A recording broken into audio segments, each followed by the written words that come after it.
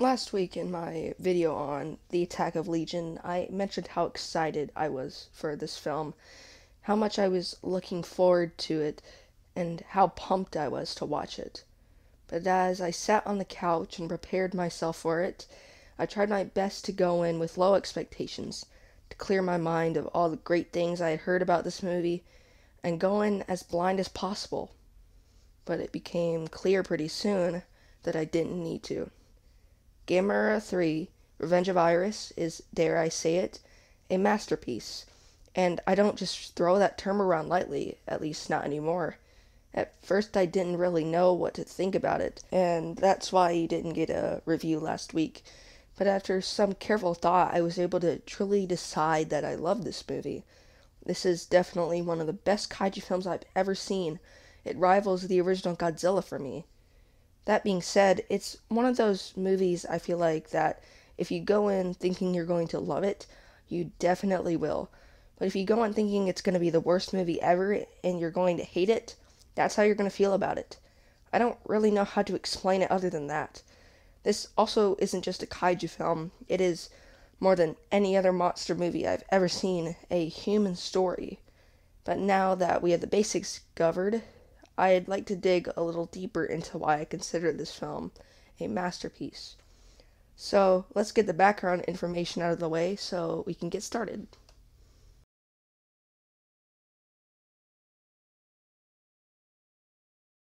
Gamera 3 Revenge of Iris is a 1999 kaiju film directed by Shusuke Kaneko. The special effects were done by Shinji Higuchi, the man who would later go on to co direct Shin Godzilla. Revenge of Iris is often considered to be the best of the Gamera Heisei trilogy, as well as one of the best kaiju films of all time. Now, here are my thoughts on Gamera 3 Revenge of Iris.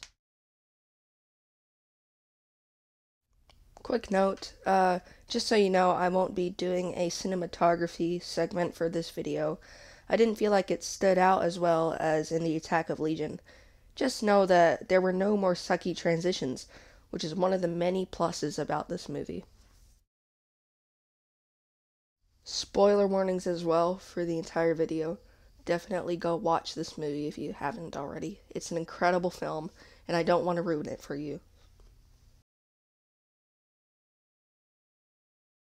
Like I said earlier, this film is a human story, and thus the humans are really the main focus of the film. Don't get me wrong, there's still a monster plot and it's still awesome. It's just not the focus of the film. In fact, this film has the least amount of monster stuff in the whole Heisei trilogy, which is, allows it to flesh out the masterful human plot more. The film follows a young girl who resents Gamera because she lost her parents in a previous kaiju attack to him. She bonds with a mysterious Gyaos variant she names Iris, and uses her to attempt to get revenge on Gamera. It's a very well done story that explores the feelings of loss and hatred. It's kind of slow in the beginning, but it really starts to pick up about 30 to 40 minutes in. The revenge story was really emotional, and you could understand the feelings the characters were having. I also felt some of the more philosophical stuff, while there was very little of it, was really interesting. Uh, the humans were the true driving force in this film, more so than the monsters, but I wasn't bored of them because of how incredible their story was. Speaking of the monsters, there are very little of them compared to the other films in the trilogy, as I've already mentioned. There were only a few fights, but what was there was still incredible. In fact, my favorite scene in the whole movie was one that involved the monsters. I also really liked how they were able to explain what happened at the end of Attack of Legion, and then also incorporate it into the plot. I felt like having the human plot connect to the monster plot through Iris was a really clever idea. There was a scene that I thought was bad and also kind of funny though, where this character performs CPR, but instead of pressing down on the heart, or even the chest for that matter, they press down on the person's belly. Like, seriously, who planned this scene? Did the director or the actors even know basic human anatomy? Uh, and now let's pro- talk about probably the most controversial part of this movie the ending. The ending is controversial because it's a cliffhanger, one that was never meant to be and never will be completed. It ends with a large pack of Gyaos swarming to attack the city. Gamera, while injured severely, trudges on and prepares to fight until the end. And then the film ends. I really like this cliffhanger. It was epic and felt like it was a near perfect ending to an already near perfect trilogy. It shows us how Gamera is willing to fight on, even if he doesn't know what's going to happen in the end, which makes it fitting that we don't know what's going to happen in the end either. At least that's how I interpret it. But, anyways, those were my thoughts on the plot. Now let's talk about that favorite scene of mine that I mentioned earlier. My favorite scene in this film is by a mile Gamera's first appearance when he is fighting the Gyaos in Shibuya. The special effects, music, cinematography, and acting in this scene in particular were all incredible. Gamera's entrance was epic, and I love seeing the Gyaos getting blown to bits. But by far my favorite part of the scene is the destruction. Yeah, we've seen giant monsters barreling through cities, but we rarely get to see individual people getting killed. This scene does not hold back on showing us the carnage these monster attacks can cause. Take a moment, for example, when Gamera breathes fire on a street of running people, and we see dozens of bodies get lunged into the air from the fireball. Showing how deadly these kaiju attacks can be also helps to reinforce the message and really shows us why the girl hates Gamera. Because while we are being entertained by the cool monster fights and action, we forget that people are dying. Every building knocked over is a building's worth of people gone. Every street lit up in flames is a street worth the people gone. And don't forget that these victims probably have in universe families who are mourning their loss and want revenge on the monsters who killed them. Hmm, sounds familiar.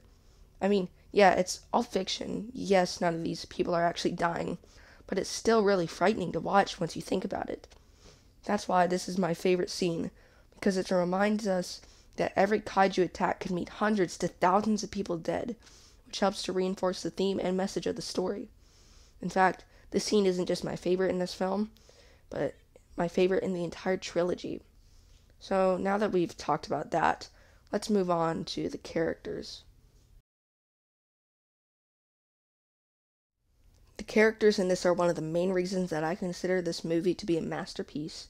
They are well done, especially the girl who lost her parents, and like I said earlier, they are the driving force in the story, which is not how I felt about them in the first two films. Their dynamics and development were all amazing, the highlight, of course, being the girl who lost her parents. But even the returning characters from older movies were still fun to follow. Seagull's daughter is back, uh, but she is no longer my favorite character. I don't really know what else to say except that the characters in this film are masterful definitely one of my overall favorite parts. Now, let's move on. The acting in this film is amazing. I mean, you'd expect it to be with how great the characters are. It's just incredible. Better than any acting I think I've seen in a kaiju film. One of the reasons the characters actually felt real, other than their emotions, was because of the acting. It's a big upgrade from the past two films and the acting was still amazing in them, so that's saying a lot. Overall, an incredible part of this incredible film. Now for the dialogue and delivery.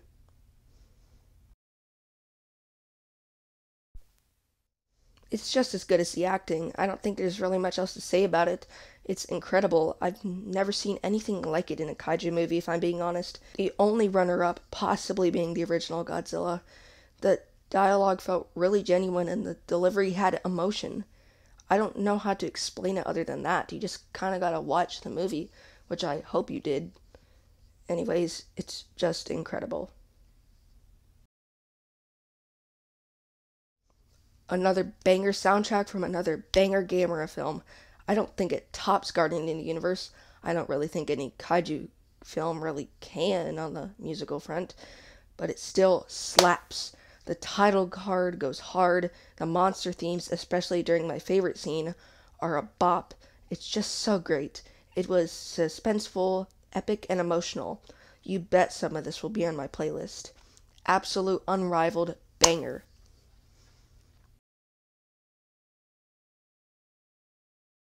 Wow.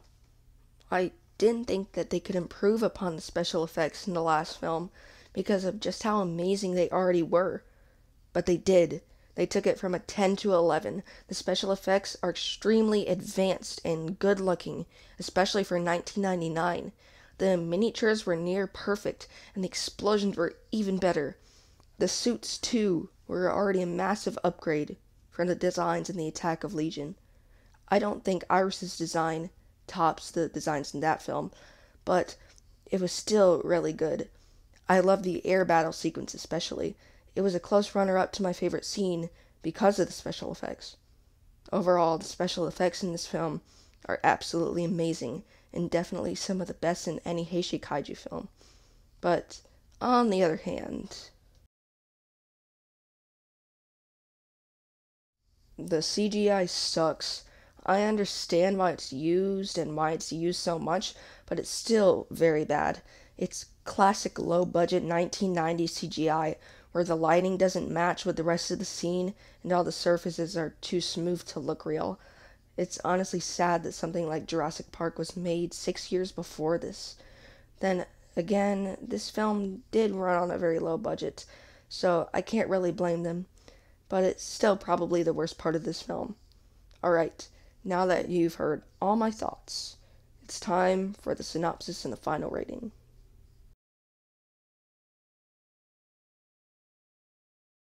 Overall, Gamera 3 Attack of Legion is an absolute masterpiece of a film and one of the best kaiju films I've ever seen. It has incredible characters, acting, special effects, and music, all accompanied by an amazing human plot. Definitely deserves the title of one of the best kaiju movies of all time. I give this film a 10 out of 10, which is a first for this channel, but it's 100% deserved. Anyways, that's all I have for you guys this week. So, until next time, thanks for watching.